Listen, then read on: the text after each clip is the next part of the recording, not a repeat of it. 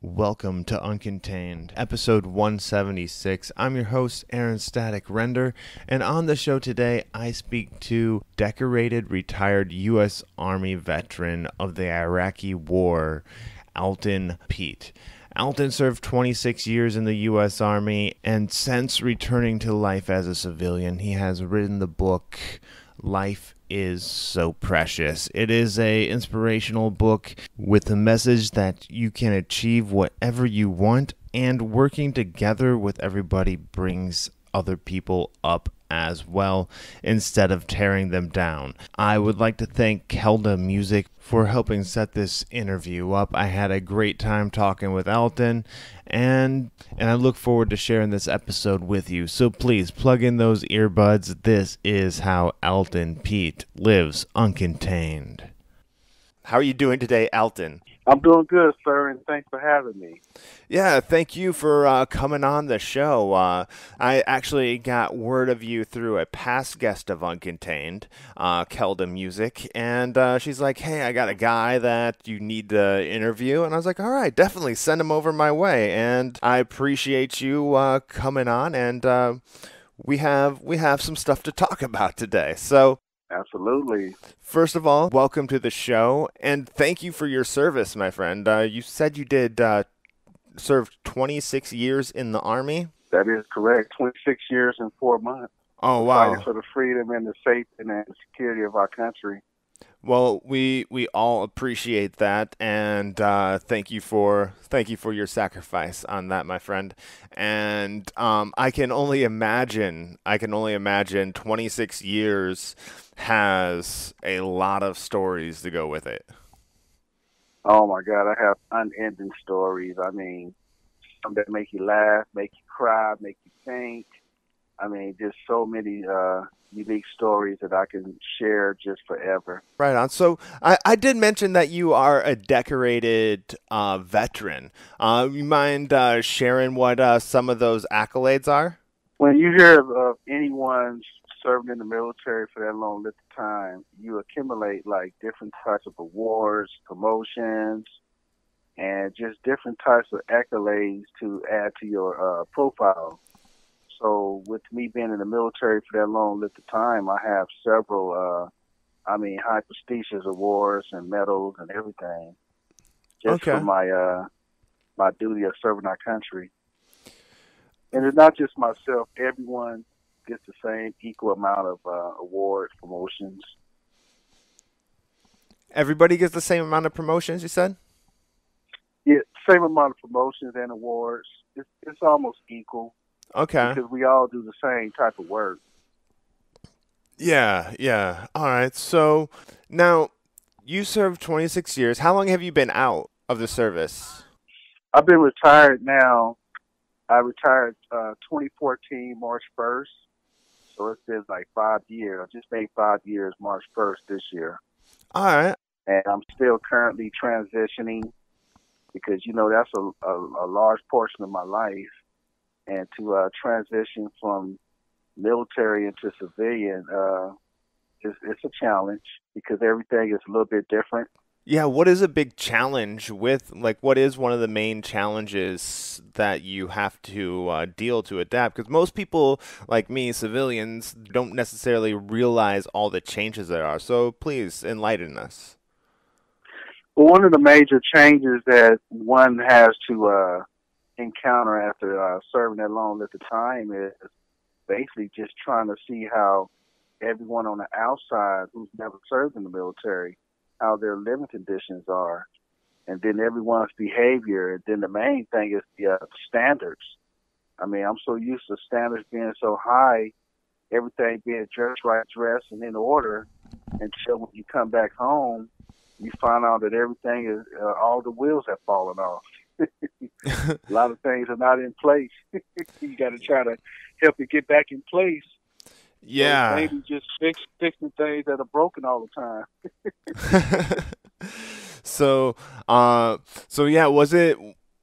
Let's see, coming back in like 2014, like that was after after like the stock market crash in like 2000.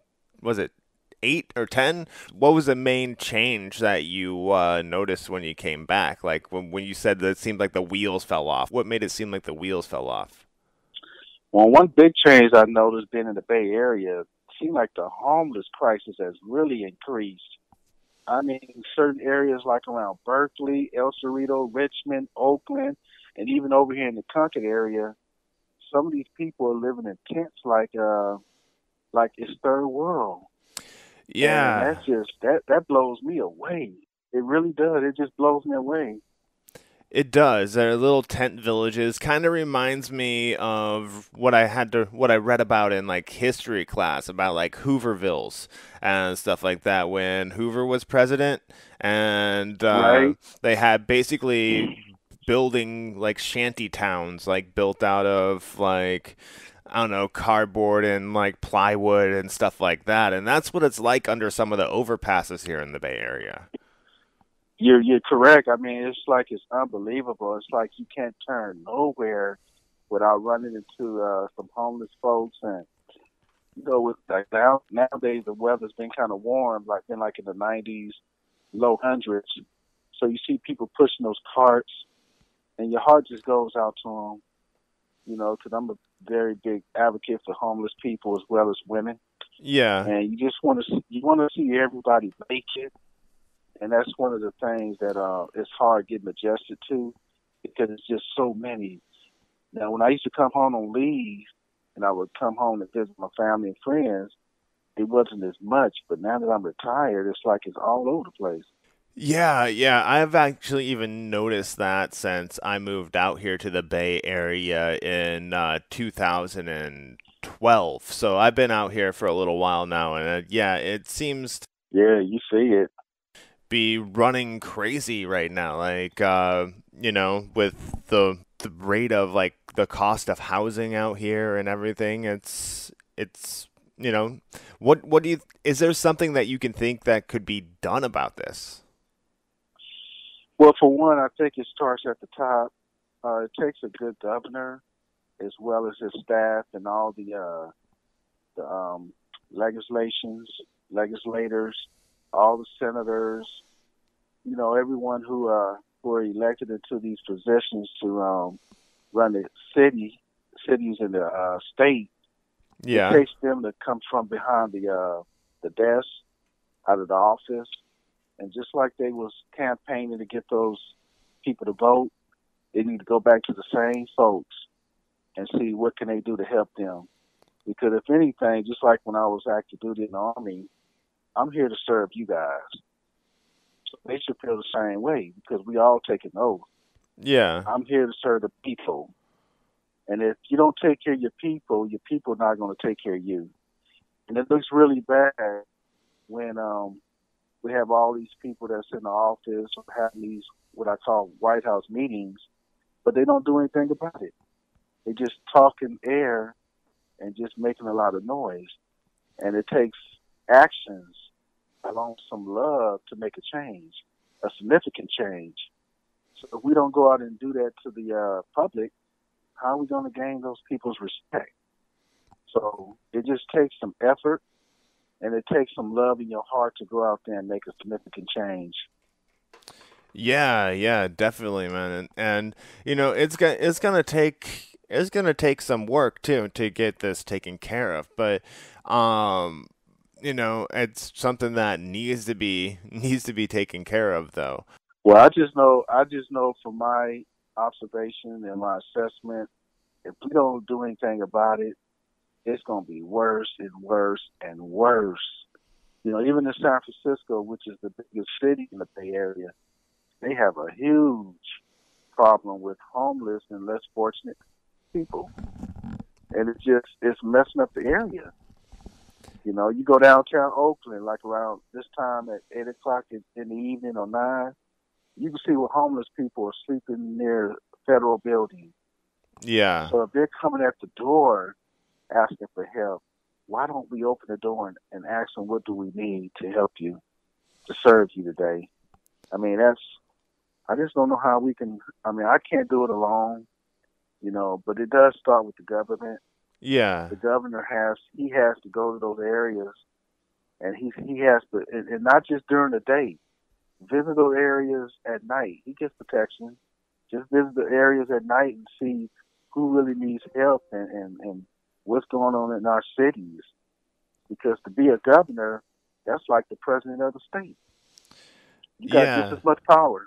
Definitely, man. Definitely. So, um, I I agree with you 100% that something needs to be done, and without the without people like the governor actually knowing and seeing it firsthand, things aren't necessarily they they aren't gonna know what to do with it. But my question to you was: Is this is seeing stuff like this, uh, coming home from Iraq and seeing like the homeless problem and everything, kind of what helped inspired you to uh, to write your book?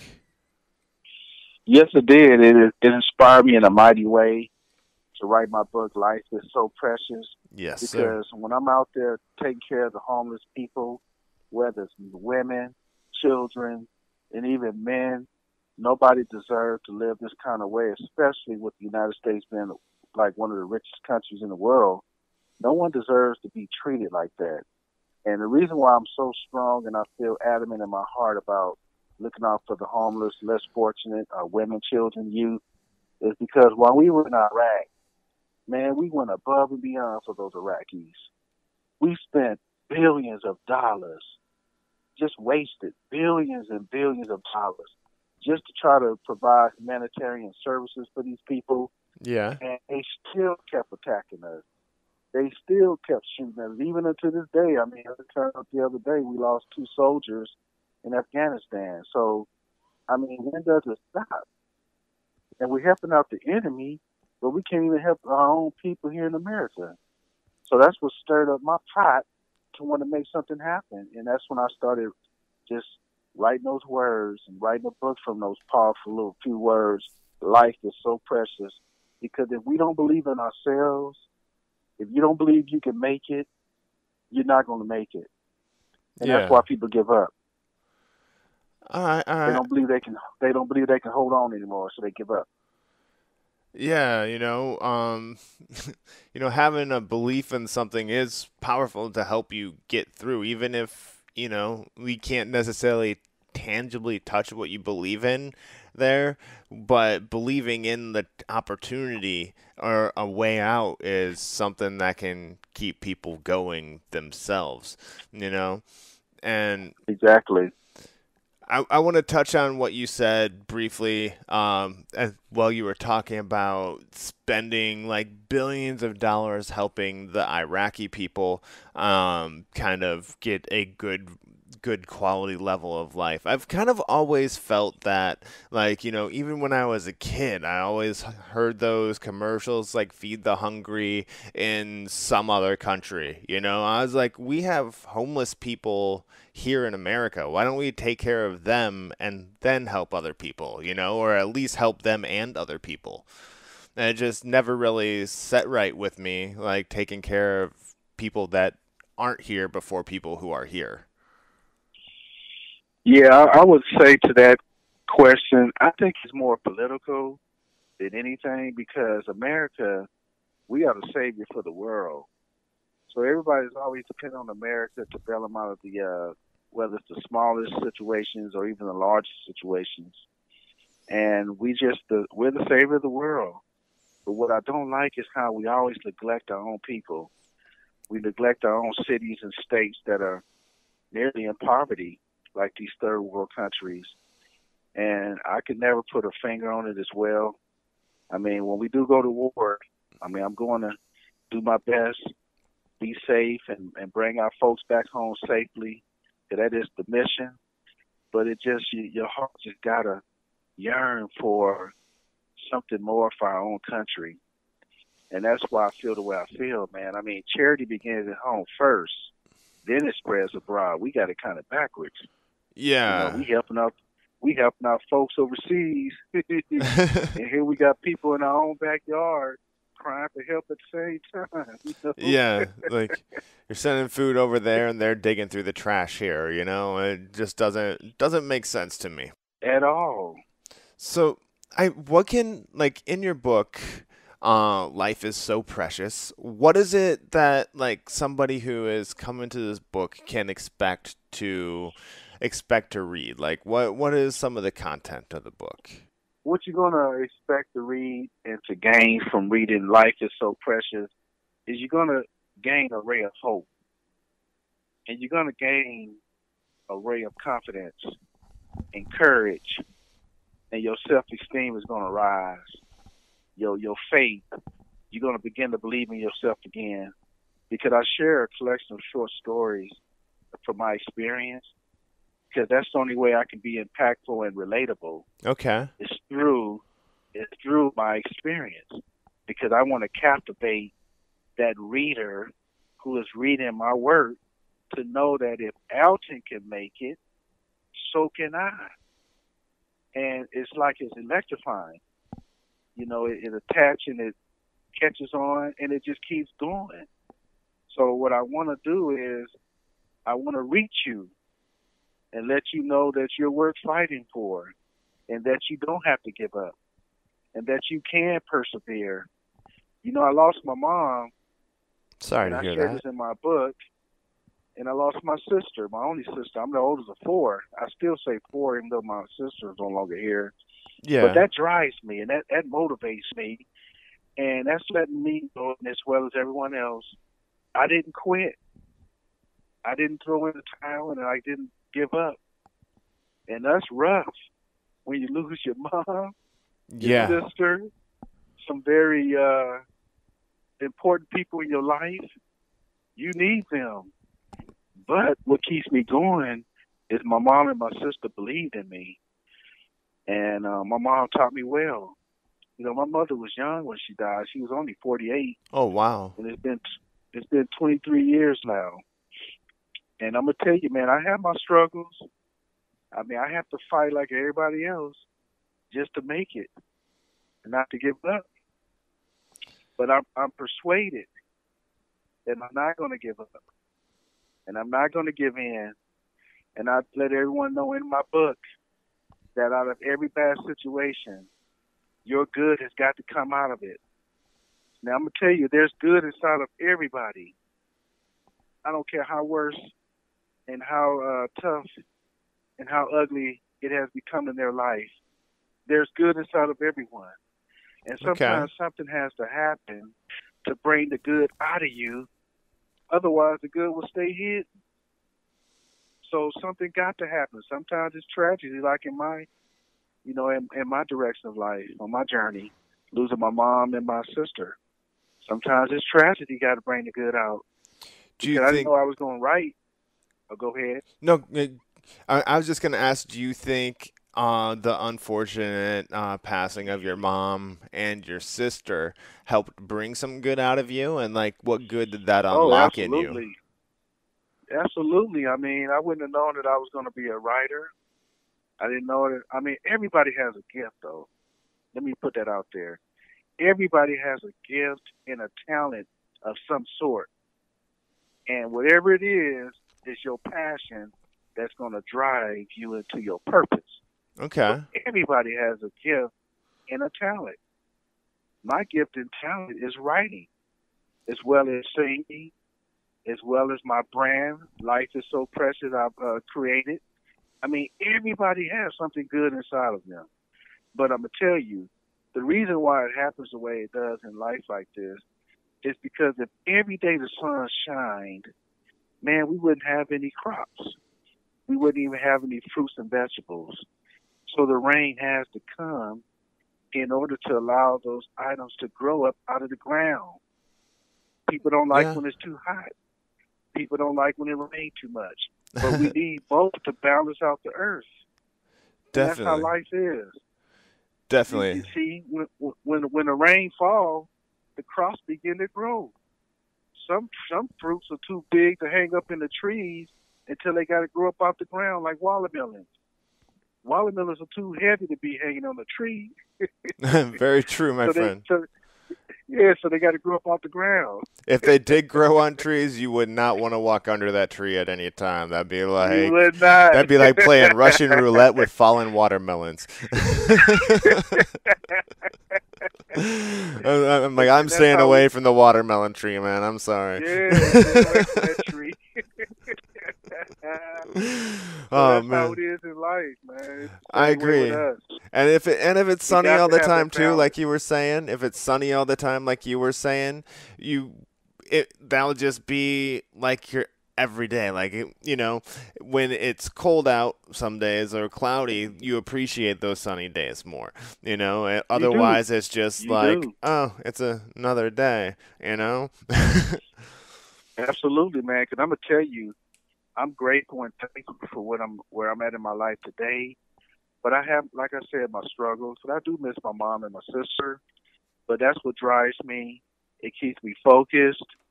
And um, you know, when the time comes for me to get married, because one day I want to get married, but I got to find that special woman to be able to get married to. Definitely. And I'm gonna tell you, man, she's gonna get she's gonna get all of me, just like I want all of her, and I'm gonna treat her like a queen. Okay. And that's why I'm very very strong about our women because man, without the women, would be no men because we need our women. That is true. So, yeah, those types of scenarios scenarios are in my book. And I just want everyone to know that uh, you're worth fighting for, and don't ever give up. Don't ever get. You can get tired. We all gonna get tired. you just take a seat. You just take a seat and rest your feet, but you got to get back up because I'm gonna tell you, there's more waiting on us ahead than it is what we leaving behind. And sometimes you got to let go of the past in order to reach what's ahead, because what's ahead is promising what's in the past is our history. Okay. that gets us where we are. So there's more waiting on us ahead than what we're leaving behind. I like that, Alton. I like that. So now for writing, like you, the, you mentioned to me earlier as we were talking before the show that this is your first book that you wrote. Um, is this is is writing and becoming an author something you've wanted to do for a long time, or is it a relatively new uh, realization that uh, you're like, I have this talent to write, so I'm going to do it? Well, I'm gonna tell you, like everything prepares us for what's getting ready to come, and what is to come. And the military prepared me for this, man. Can you imagine how many briefings I had to do, how many write-ups I had to do, counseling, how oh, much man. I had to write on reports. I mean, all this prepared me for where I am today, so it made it a little bit more feasible. But writing now that I have the uh, liberty to do so, it's enjoyable. I mean, when I was doing it then, it was like I had to do it. yeah, know? and I can imagine in, in writing military. a briefing opposed to writing a book of short stories has a little bit different feel to it. it does. Yeah, it has a, a huge uh, different feeling. So, but I enjoyed doing this, and plus, when I was writing my book, like in two chapters of my book, 15 and 16, man, I was thinking movie. So Oh, I'm yeah? looking to get a movie out of my book. Okay. I'm looking to get a movie out of my book because life is so precious. That's going to blow this world away.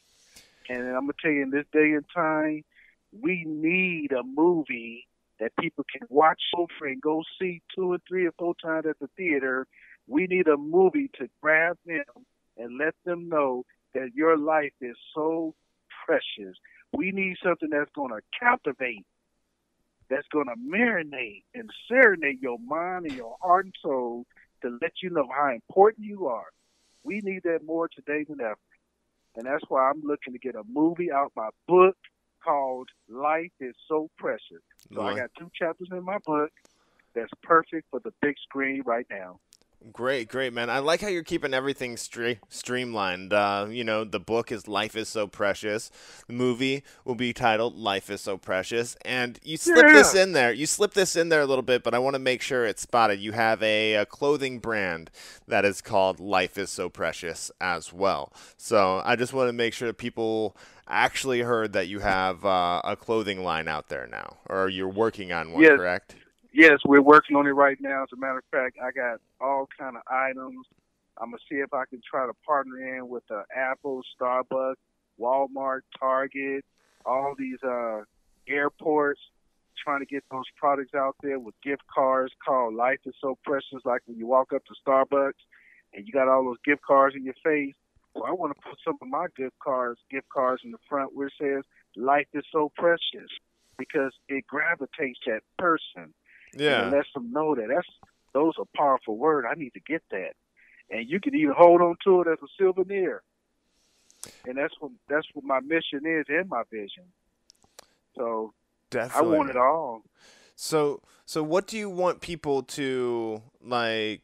And huh, let's see. When when somebody reads your book, like what uh, like what ride do you expect them to be taken on? Like a ride of emotion would be like a roller coaster up and down. Is it all like uh, heartfelt? I apologize that I haven't had a chance to check it out because Kelda just got a hold of me like last week, so I haven't had a chance to check out your book. So uh, I want to know, like, is, is it a roller coaster ride? Is it a like all inspiration all the time, or what? What? What can what can the uh, reader expect?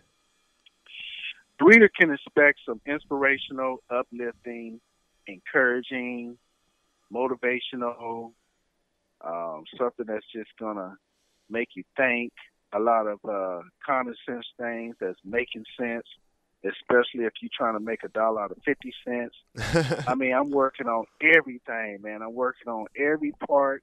I mean, even how to treat a woman. I talk about that for the fellas. You know how important we need to treat our women. I talk about that. So it's a lot of common sense idol. I talk about love because I'm man enough to talk about love because it seems like men are too bashful, too prideful to talk about love. It's okay to love people.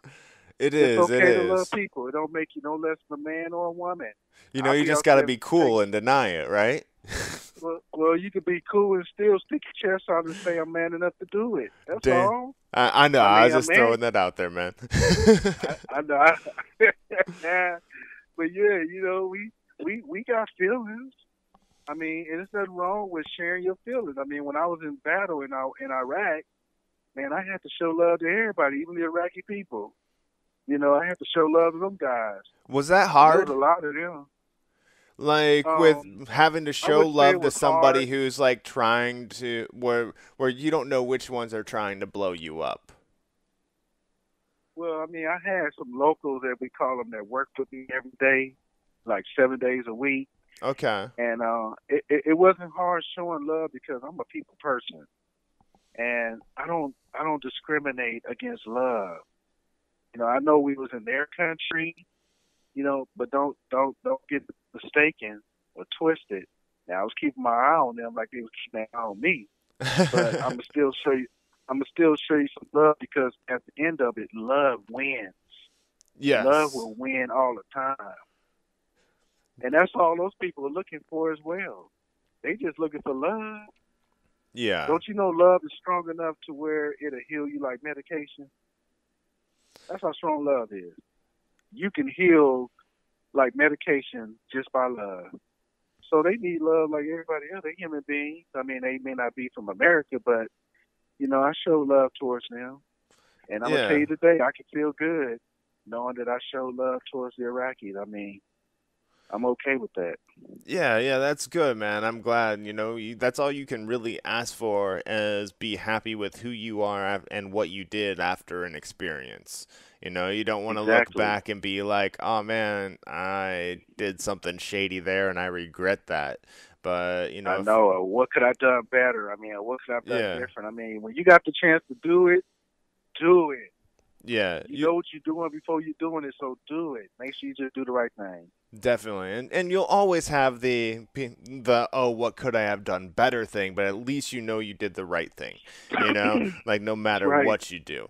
Um, but this, That's- oh, go ahead. I'm sorry. I was gonna say that's you're you're absolutely correct. You know, just just doing the right thing. yeah, yeah, definitely, man. So this book, it sound it sounds great. It sounds like there's something in it for everybody. You know, something. oh my that- God! Everybody, lolly dolly. everybody lolly dolly. I like everybody. that. Everybody, lolly dolly, man. Something in there for everybody. All Even right. our youth. You know, I got a piece I wrote about our, for our youth because the youth seem like uh, they're being not heard or overlooked. So I wrote a piece for the youth in my book. So I, I, I took care, and even those that are in prison, you know, I thought about them as well. So I, I, I got everybody in there. All right. Everybody all right. love. We'll definitely have to check that out here. And before I get to my final questions, there was one more thing that uh, you mentioned that you wanted to kind of talk about. Um, wanted to talk about when we were doing talking before the show started, and that was about uh, resources and benefits that are available to veterans and their families that they can seek uh, regarding like mental and physical health. Uh, do you want to talk the- about those for a couple minutes? Let people know what's out there if they need help. Yeah, absolutely. I mean, for the ones who have been to war and uh, preparing to go to war and come back, returning back home from war, as well as the families that are left behind, taking care of the families and making sure the household is in uh, complete peace. There are programs at the VA facilities and clinics who are allowing not only just the service members but the families to seek medical, uh, any type of medical concerns, any type of dental, um, any type of uh, just any kind of concern you may have with your mind, your heart, you're not feeling right, you need some medication. Well, there are programs at the VA facilities and clinics who will address those concerns. They have doctors, nurses, uh, mental and physical therapists. They even have a chaplain. He'll listen to you. Anybody you want to talk to, anybody you need to go and see, you can get it at the uh, VA facilities and all the clinics, your Okay. local uh, facilities. Is there a website they could go to to uh, figure out where uh, to get this information, or figure out where their VA clinic is, or anything like that? Yeah, you can go. Uh, you can Google VA.gov, and that'll give you all the information that you need that are provided, and through the resources, and it'll just lead you in the right direction. All right, perfect, perfect. So that's out there for people who need it, uh, that were uh, who have served uh, in wars and their families. So definitely check. And the families. Yes, and the families. That that is important as well. And uh, glad it's out there, man. And thank you for sharing that with the audience. Now I'm. I have this section of my show, the second half of my show, which is dedicated to helping people who want to get involved in the entertainment industry. And the first question I have for you is Alton, like, what advice do you have for people who are looking to maybe write that first book or start up that first uh, clothing line? I would say to uh, every individual who desires to go in that uh, direction of their life is to do your homework. Do a whole bunch of reading, searching, asking questions. Go to the certain areas where you can just pick up on what it is that you really want out of this. Is it your passion? Is it just for the money, or do you just love to, uh, you know, be a servant to the people? And then just take it from there. Just do your homework. And then once you find out if this is really what you want to do, I would say go for it. Because opportunity knocks at the door once, and after that is chances. And if this is your golden opportunity, you need to go full force and make it happen because what's going to happen is years can pass by, and if you never got to where you wanted to go in your life, it's going to tear you up it's going to follow you around like a shadow to remind you you messed up, you missed out, and you don't want that kind of regret. So if it's kind of bugging in your ear right now, you need to go ahead and make it happen and just do it. I like that, and I really like the line that you had in there. Opportunity knocks at your door once; the rest is just chances. Um, chances, yes, sir. I, I, I like that. I was like, I, I haven't heard that before, so it was uh, kind of a new quote, and uh, I will have to, uh, I'll ha- maybe have to use that sometime. Of course, I'll give you credit for it. but so, all Hey, right, we, we help we help us one another, man. yeah, man, exactly. That's that's the way I think it. Not even just the creative community and like the entertainment community is but you know that's that's the way it should be you know like one person goes up it can be same in entertainment or same as in regular life one person goes up bring other people with you and eventually you're all up you know yeah man you feel better because i'm telling you man being retired man, I'm tired of uh, people calling me for money. I'm, I'm trying to see everybody make it now. you know, I'm get I get them calls, man, during the day, in the morning, at night about needing money. I can't even answer my phone anymore now, and that's because people people are not following their dreams. Man, your dreams will make you rich. It's making me get there. You know, because I have dreams, goals, and I got ambitions but your dreams will get you. They will get you where you want to go.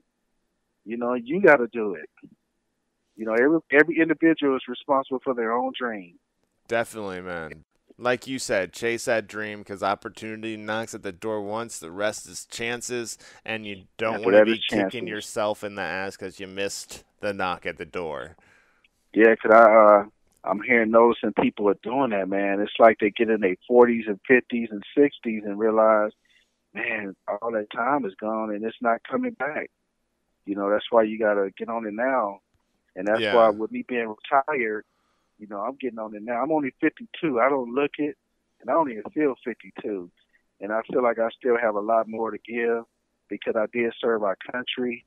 So that kind of gives me a, a an advantage over a whole bunch of people. Yeah. Because I have the resources, you know, and, and I'm humble. You know, I will tell you, I'm very humbled about it. And that's why I'm taking advantage of this whole golden opportunity, man. If I can do it, so can you. Yes, yes. And uh, this right here rolls perfectly into the next question. Since you are chasing after it, you put the book out, you you are going after your opportunity. What are you now doing to promote yourself and your book, your clothing line, and, and future movie? Uh, what I'm doing now is, uh, matter of fact, we're getting ready to shoot a video, um, August, in the middle of August, and we're going to shoot my brand. we actually going to just promote it out there. We're going to push it out there because, uh, without a vision, you're going to perish. Yeah. So this is part of my vision. You know, I can envision this, and this is part of my vision, is to touch this world with just a few powerful words, and that is life is so precious. So we're gonna shoot video, gonna do the photo shoot, we're gonna just keep pushing it and pushing it as far as we can go. Because I'm gonna tell you, man, there is no limit. There is no limit in whatever we want in this life. And everything we want in this life is attainable. So you can get it. So that's what we're going to be doing, pushing the video, uh, sending it to all these media outlets, and all these major corporations and companies, and we're just gonna keep pushing it out there. And that's how I'm gonna get this movie made with these big name people like Dr. Phil, Bishop T.D. Jakes, Denzel Washington, Morris Chestnut, Halle Berry, Angela Bassett, David Mann, Magic Johnson. I want all of them. You already have it all casted and everything, man. That's amazing.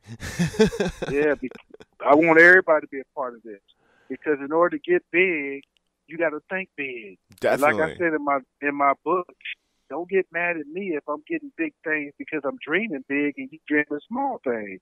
You need to start dreaming big in order to get big because there's an opportunity for everybody to shine. I'm not the only one. Everybody can get their shine on. Everybody has their own time and their own season. So that's why I encourage everybody man, just go for it and just support, make it happen. And I'm gonna tell you, you'd be surprised what we all can do collectively as a group. and What we can do if we start, you know, trying to put each other down. Yeah, know, we're definitely. not gonna get far at all doing that. I I agree with that completely, Alton.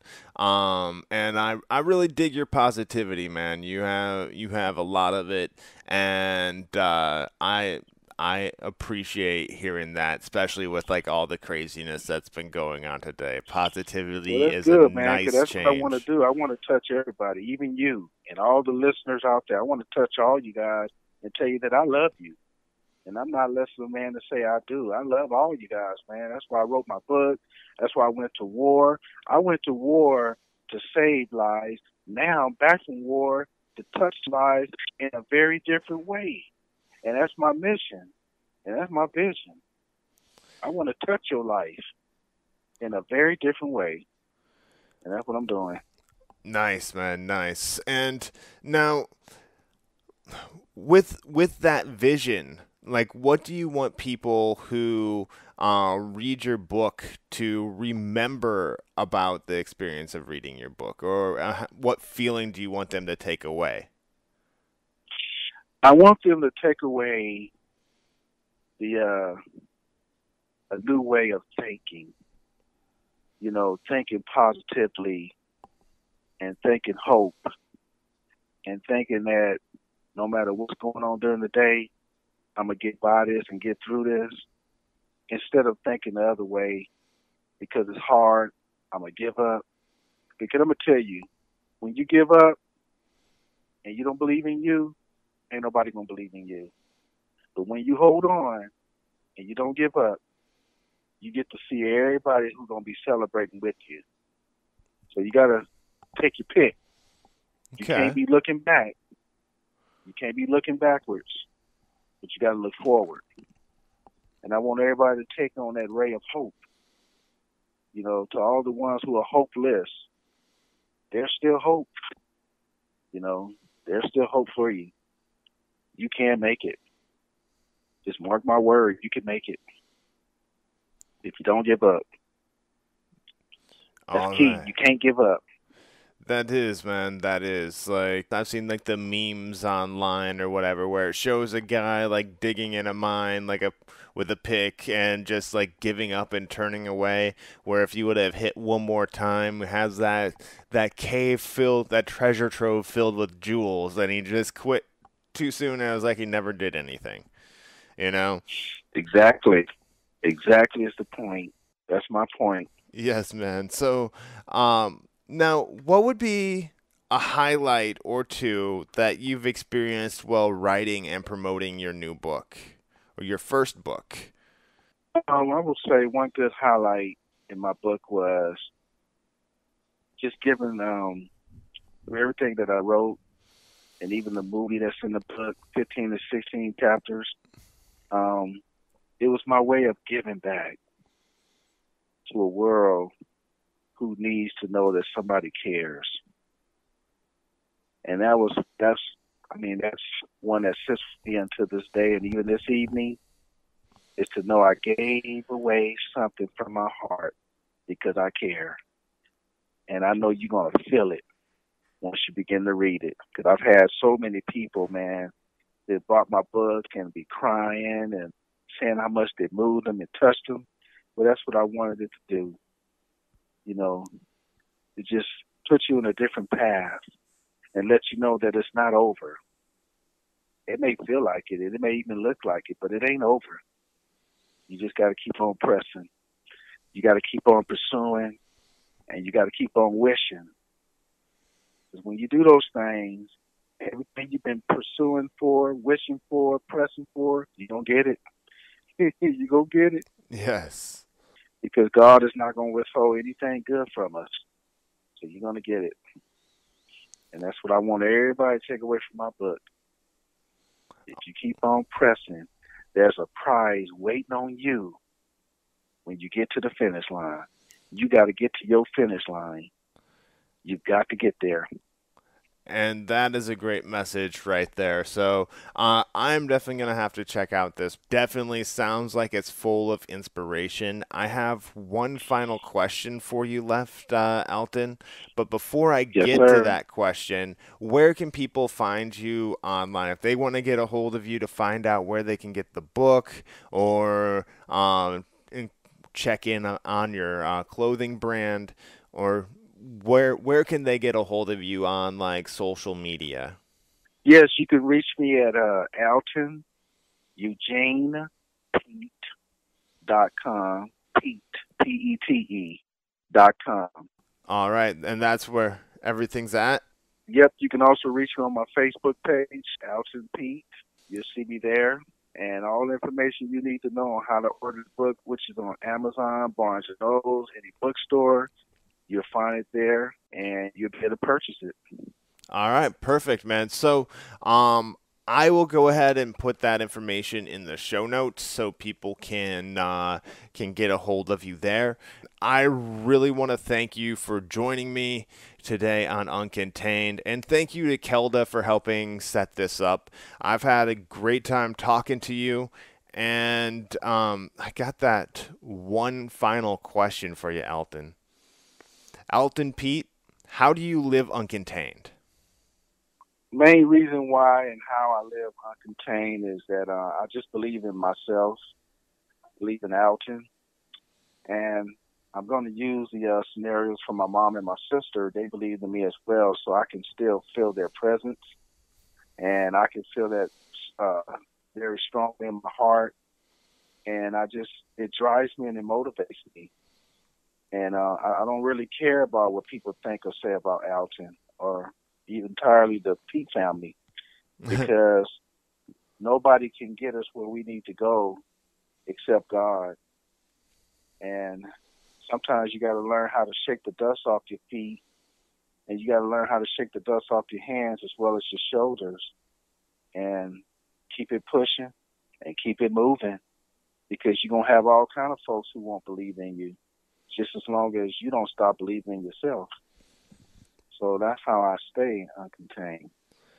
Nice, nice. And that that's key right there. Keep believing in yourself whether or not other people believe in you or not. That's huge right there. And major. I have one final thing for you to do. Uh, before I let you out of here, Alton. As I said, I appreciate you uh, coming on the show and uh, talking with my audience here. I have that one final thing to do, and that is sign off the show. Will you do me the honor of signing off the show tonight? To all the listeners out there, this is Alton Pete once again. I just want to remind everyone of these very few powerful words. Life is so precious. And it's just some few words just to elevate one, to captivate one, and to celebrate one, to never give up, but to hold on instead. And this is my final words. I am Alton Pete, and I live uncontained.